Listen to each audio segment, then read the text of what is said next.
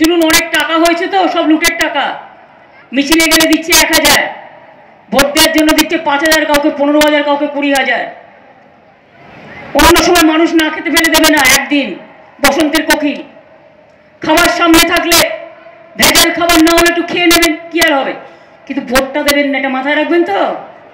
Vote দেবেন না। প্রচুর টাকা আসছে। স্মাগলিং করে কাউ স্মাগলিং আম স্মাগলিং নোটবন্দি প্রচুর টাকা আসছে এটা টাকা ওদের পকেটের টাকা নয়, জনগণের লুটের টাকা। তাই মনে রাখবেন আগামী দিন এরা যদি কোনোভাবে যেতে দেশে স্বাধীনতা থাকবে না। তপশিলীদের আমাদের সবার নেতা বাবা সাহেব আম্বেদকর, আম্বেদকরের কনস্টিটিউশনটা বদলে দেবে।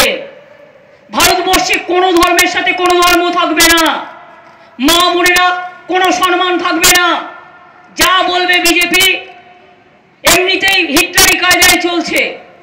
ফ্যাসিবাদী সরকার চলছে। স্বৈরাচারী সরকার চলছে। গায়ের জোরে যে প্রতিবাদ করছে সিবিআই পাঠিয়ে দিচ্ছে, এজেন্সি পাঠিয়ে দিচ্ছে সবাইকে। আমরা বলি এসব দিয়ে আমাদের ভয় দেখানো যাবে না। তোমার ধমকানিতে আমি ভয় পাই না। আমি চিরকাল বন্দুকের সাথে লড়ে এসেছি। সিপিএম কম অত্যাচার আমায় করেনি। পা থেকে মাথা পর্যন্ত অনেক অত্যাচার করে, করেছে। আবার বলি লড়তে পারলে লড়ো, করতে পারলে করো, গড়তে পারলে গড়ো, আর তা নাহলে কুচবিহারের মা বোনেরা একটা দড়ি কলসি দিয়ে দেবেন, ওটা নিয়ে পুকুর পাড়ে গিয়ে যা করতে হয় সেটা তুমি করো।